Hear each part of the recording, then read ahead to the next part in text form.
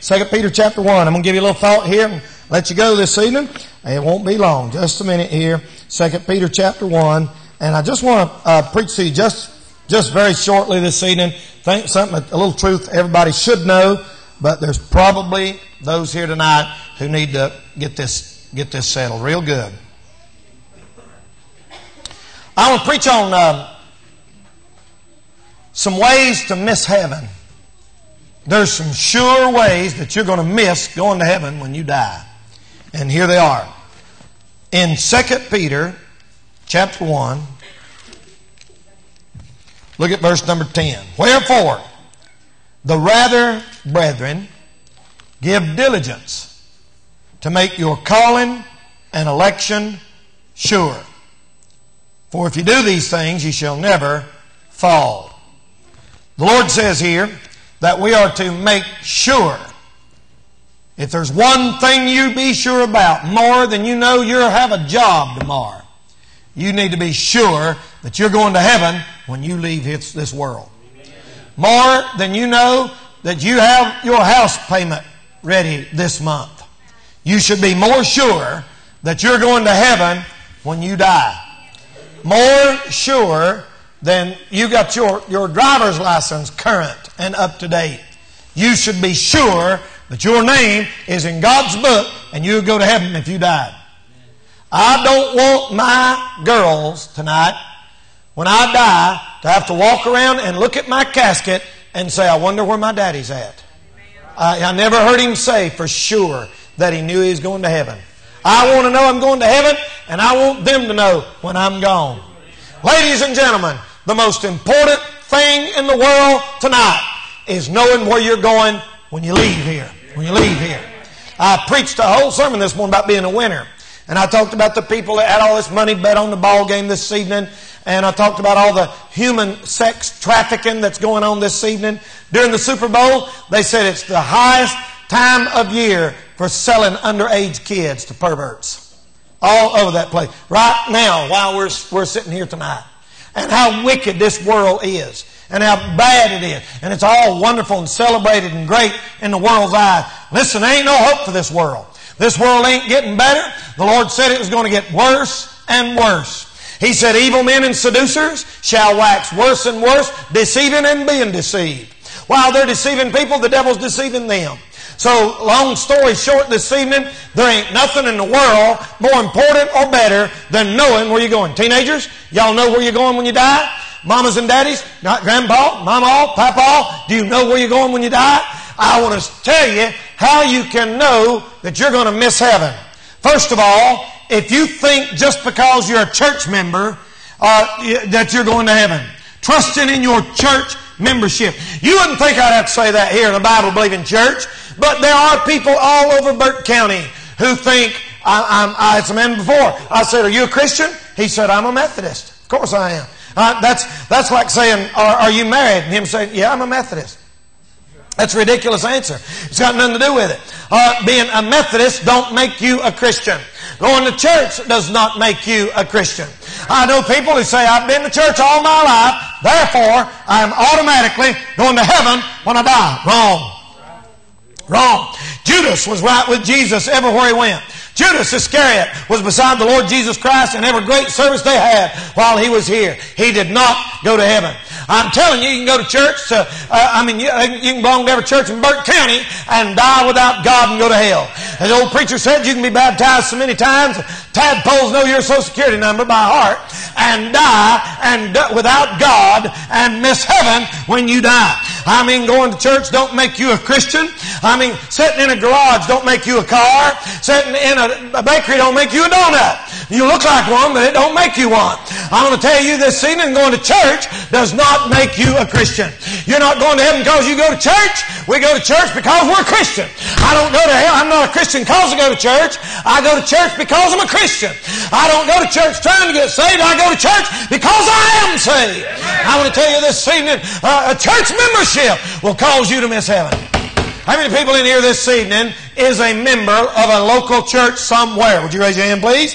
If you're not, you should be somewhere in this world. That's about everybody in here. You're, you're, you're a fool tonight to trust that membership to take you to heaven.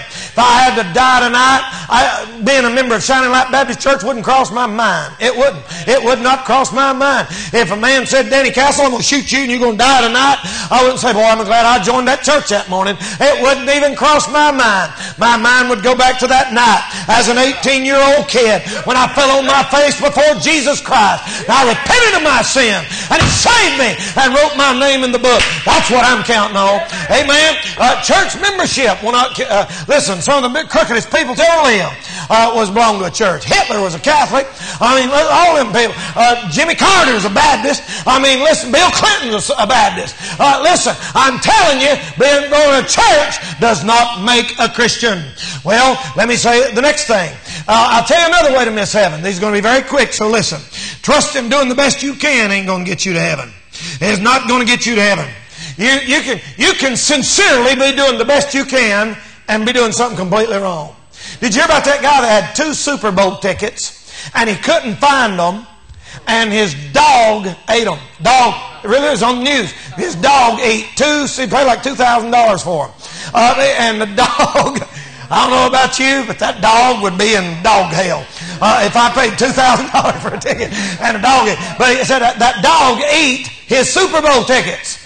And I don't know if that's, um, I don't guess them's non-refundable, non-redeemable. You wouldn't want them after you got them back, that's for sure. Uh, but listen, brother, uh, listen. Uh, that dog thought, well, I'm doing a good thing. I'm cleaning up around the house. Uh, but people's like that. They think, well, I'm going to church. I do the best I can. I've talked to people right here in this town. And I said, are you going to heaven when you die?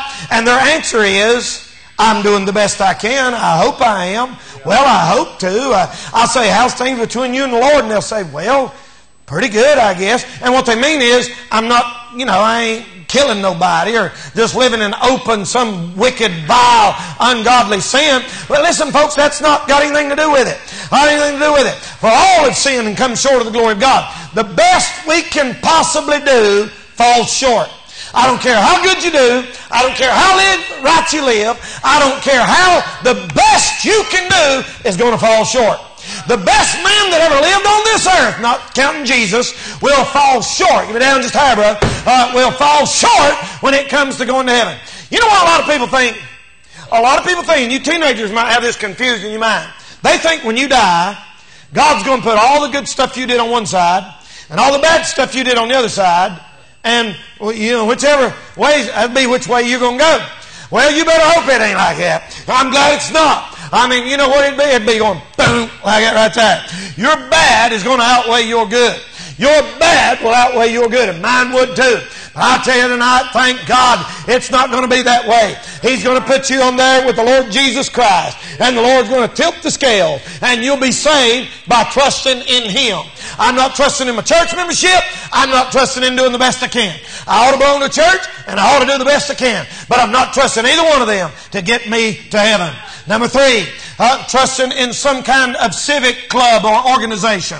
You would be shocked tonight to know the men, especially in this country, who believe because they're a member of the moose or the goose or the elks or the frogs or turtles or, or the, the lodge. I, I had an uncle, bless his heart, and every, I, they, and my aunt and uncle lived in California. And every time I talked to him, I'd say, y'all going to the church? And my aunt would say, well, he's going to the lodge. He does to the lodge. And he goes to the lodge on, on Tuesday nights. And he goes to the lodge on Thursday nights. And he goes to the lodge. And I said, why don't y'all go to church? And they said, oh, Danny, the lodge does a lot of good things. And the lodge, uh, the, the Shriners, they have all these burned children and they, they give them money and they do. I said, that's fine. That's wonderful. That's great. I ain't against that. But I'm going to tell you something. Jesus did not die for a lodge.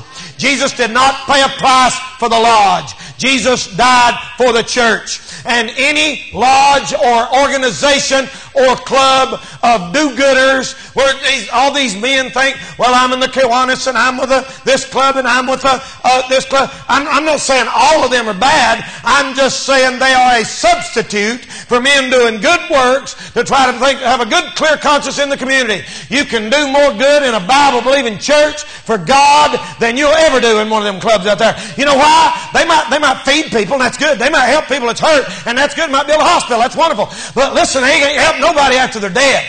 We are in the business of helping people after they leave this world, and that's a million times greater.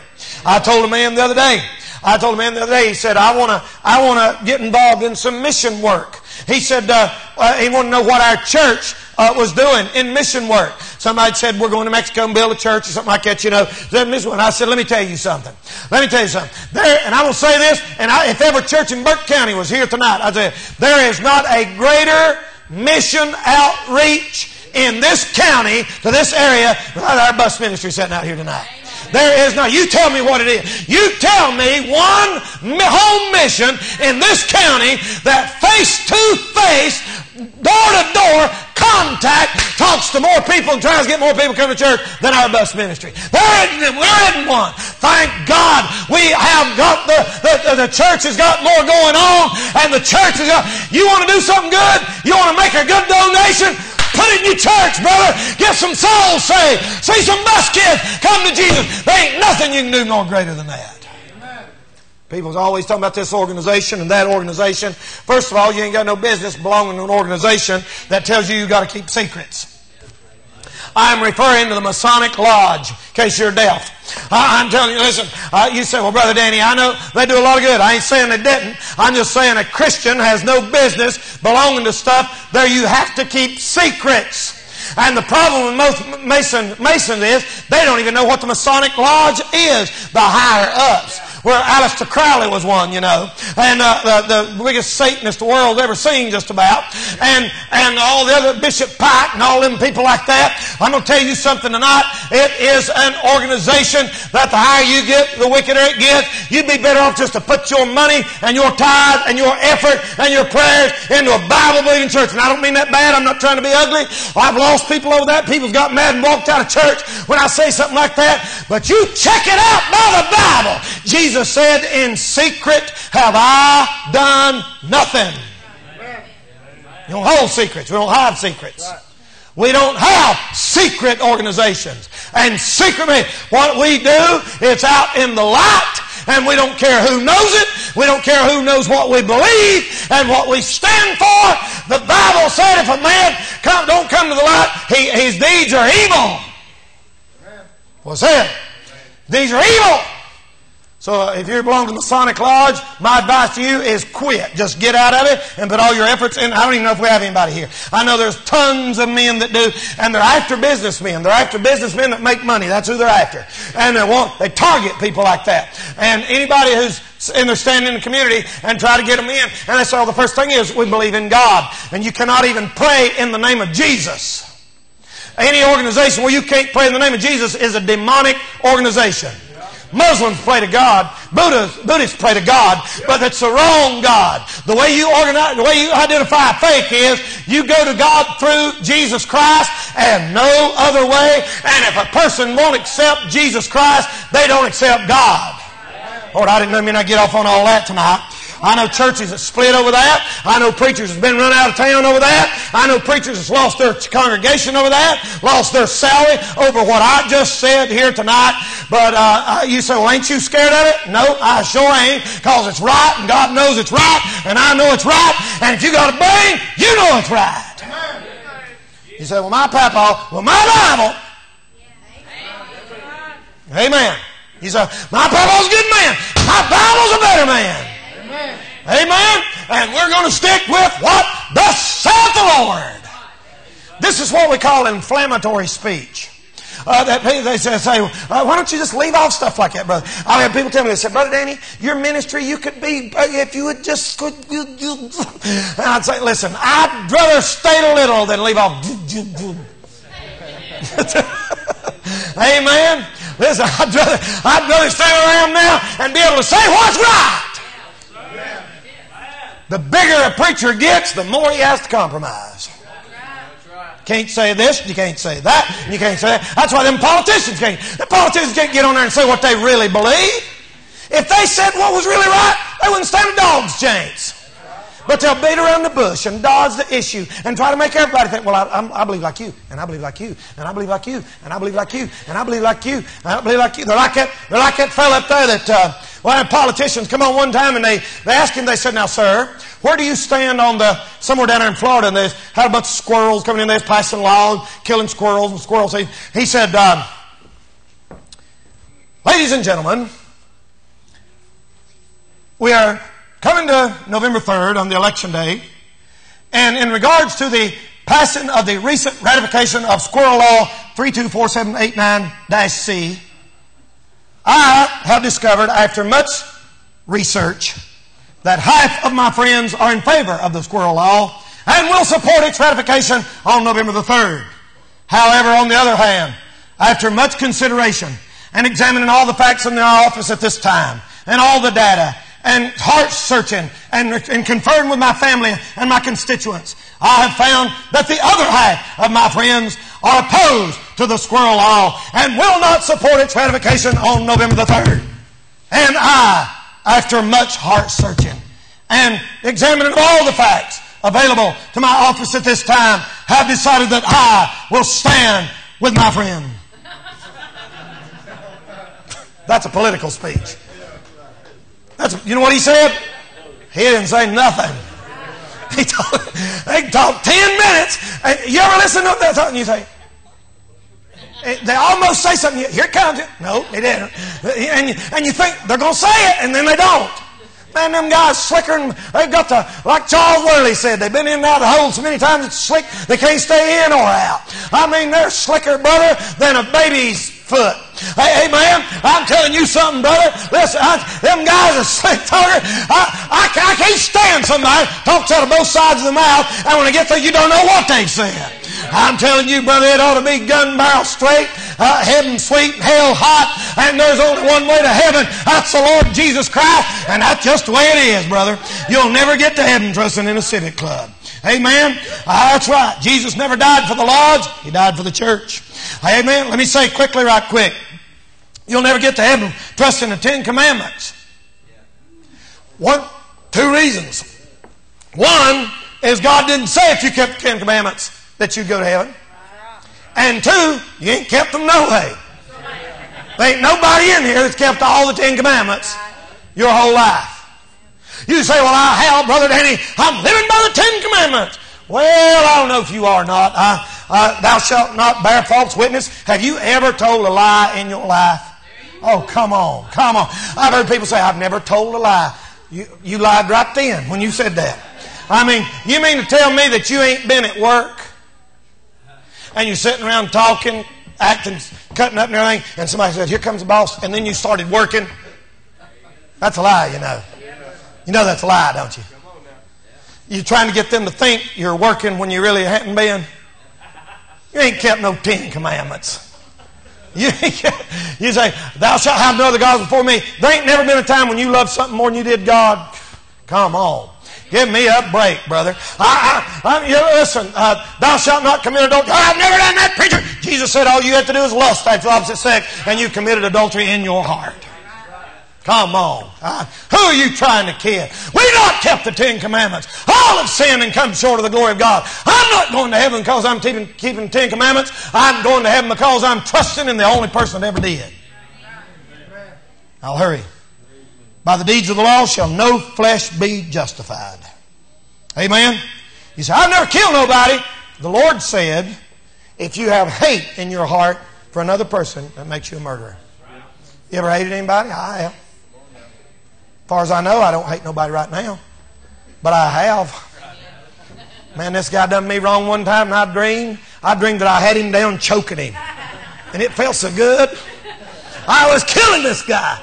I, I mean, I, I thought, glory to God, I'm going to kill him. Uh, and, and I woke up and thought, oh my goodness, that's awful. I had murder in my heart. That, that makes you a murderer in your heart. Well, you ever prayed for your husband to die? Ladies. Trusting in the Ten Commandments. Not only that, the most dangerous thing you can trust in to keep from going to heaven is in the latter day. So many people say, I'm going to get saved, but not today. I'm going to, but not today. That's the most dangerous, dangerous way to look at things. See, because the devil don't care how much you believe. Just as long as you don't do nothing bad today. I put you on a scale before. Everybody here, get ready. I'm putting you on the scale. Don't get excited, not that kind. You say, Brother Danny, I started my diet January 1st. Here it is, February, and I've gained five pounds. I know, I've done been hearing stuff like that.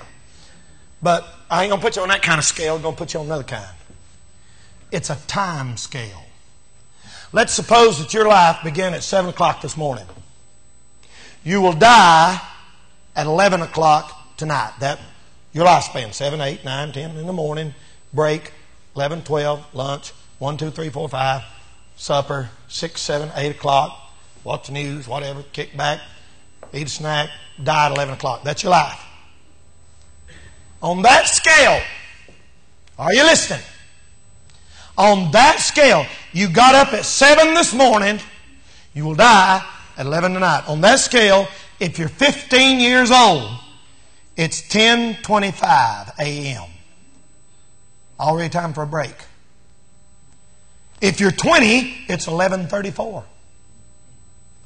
If you're 25, it's 18 minutes till 1 in the afternoon. Everybody listening? If you're 25 years old, and people think, oh, that's just young, it's already almost 1 o'clock in the evening for you, buddy. And you're going to die at 11 o'clock tonight.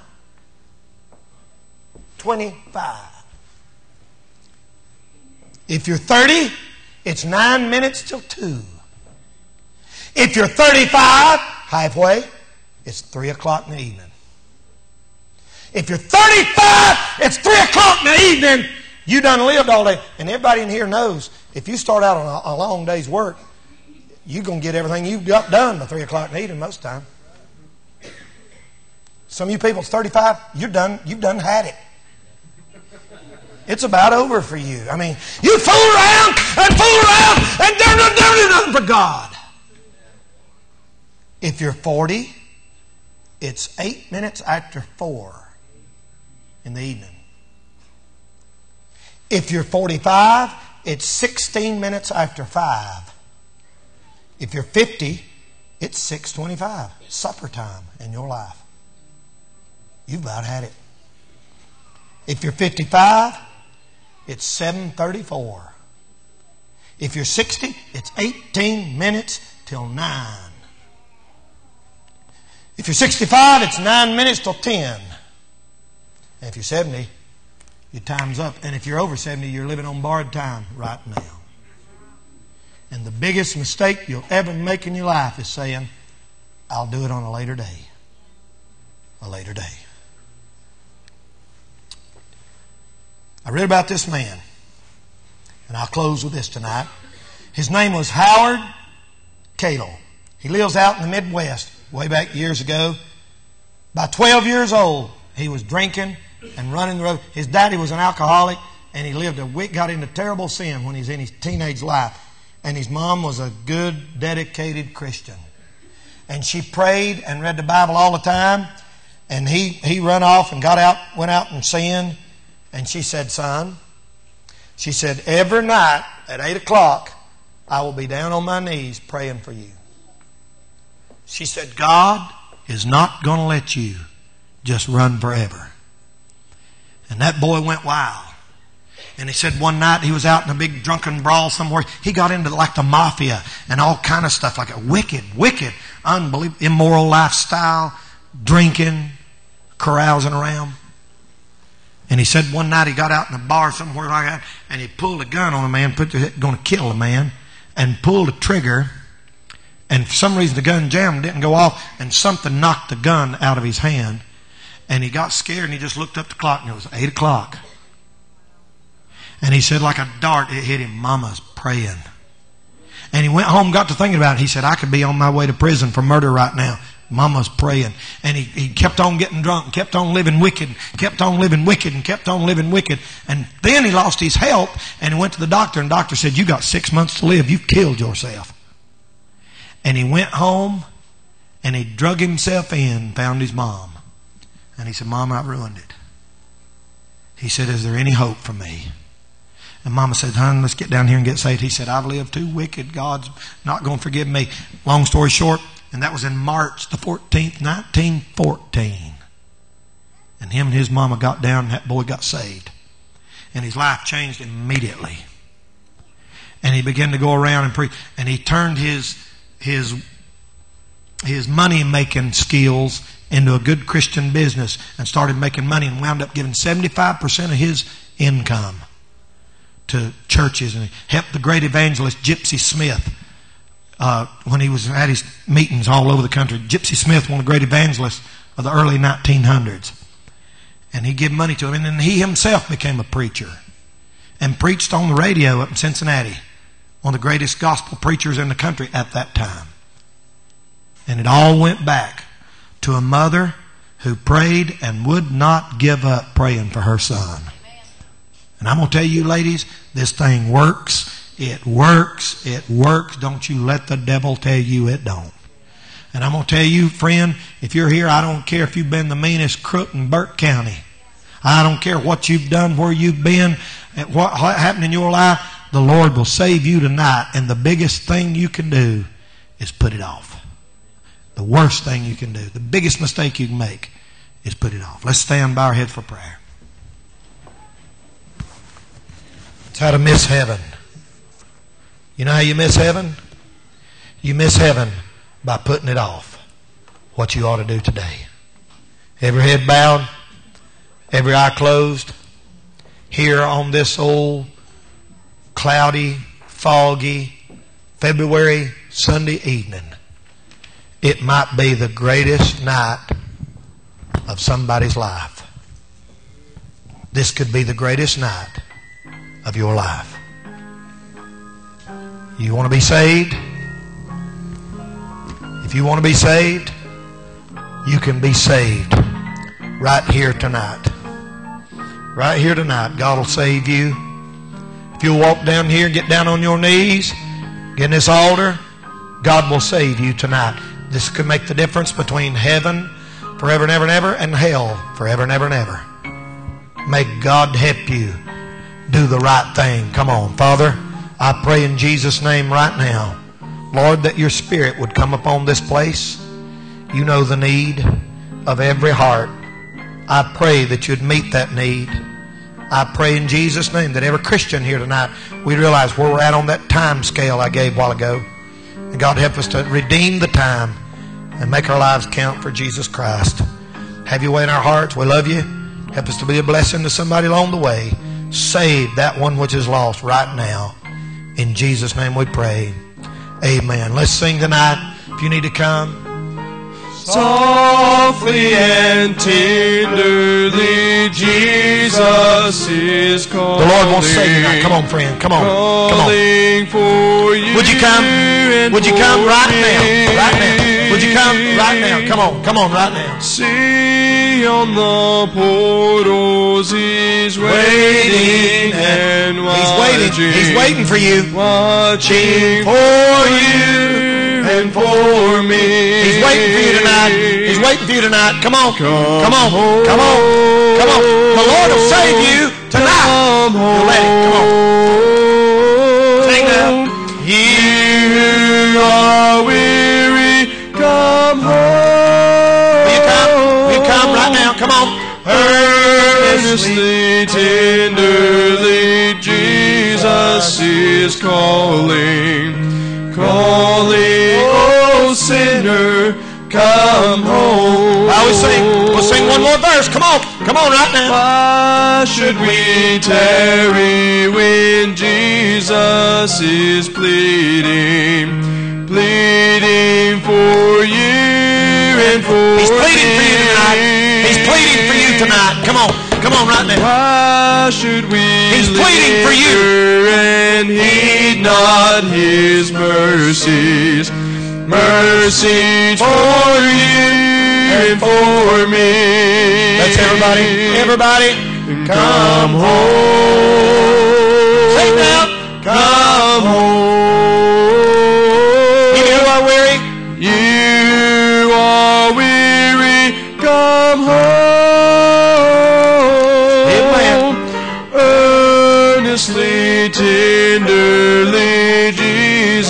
Is calling, calling, oh sinner, come home. There's been a many, many, many services like this that, you know, it, uh, a lot of folks, we have a lot of folks gone. Jason and Crystal and them's gone on vacation. I forgot to mention them, Miss Linda with them, their whole family, uh, the, all the Kirks and all that, and plus the, the backsliders that are not here.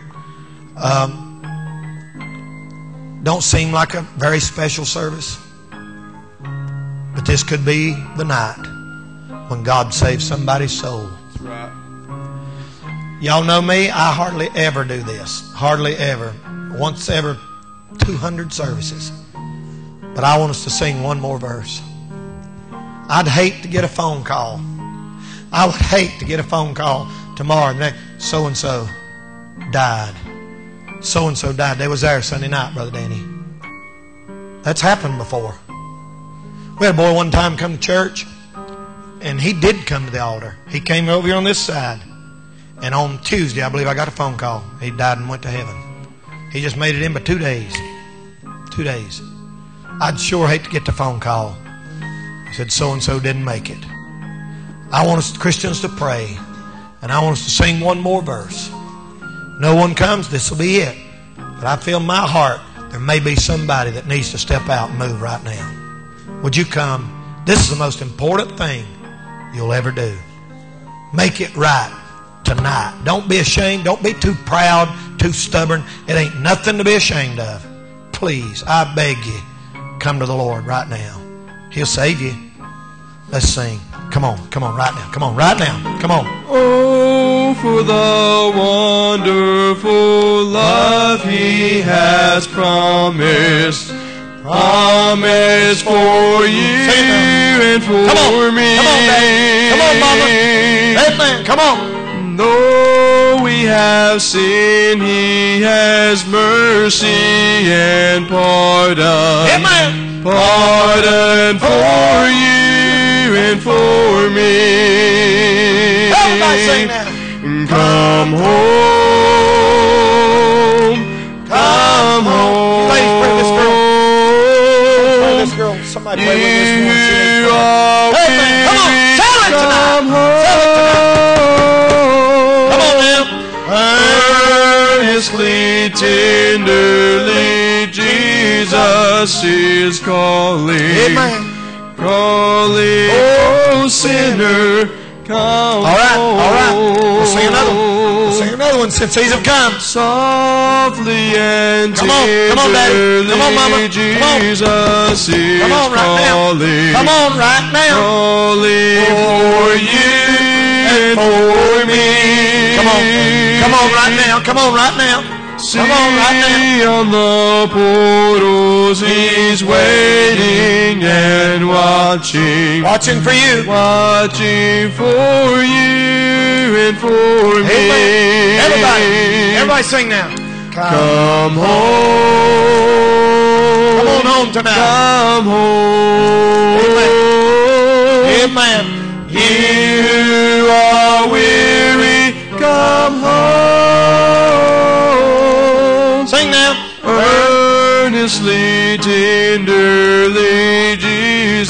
Jesus is calling. Amen. Calling, oh sinner, come home. She's still praying. Tonight they're still praying. They're play, she's playing softly.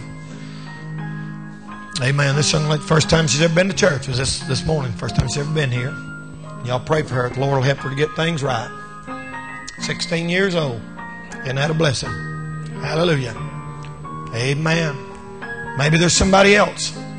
Maybe there's somebody else. I'm telling you, you want to be a winner in life?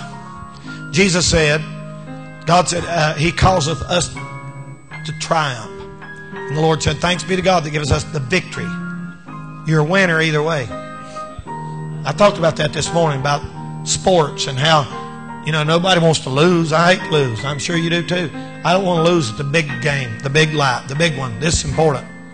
And I know I'm a winner, not because I'm any good, but because the Lord's good and He won the victory for me. So I'm on the winning side. Amen. I hope you don't leave here tonight.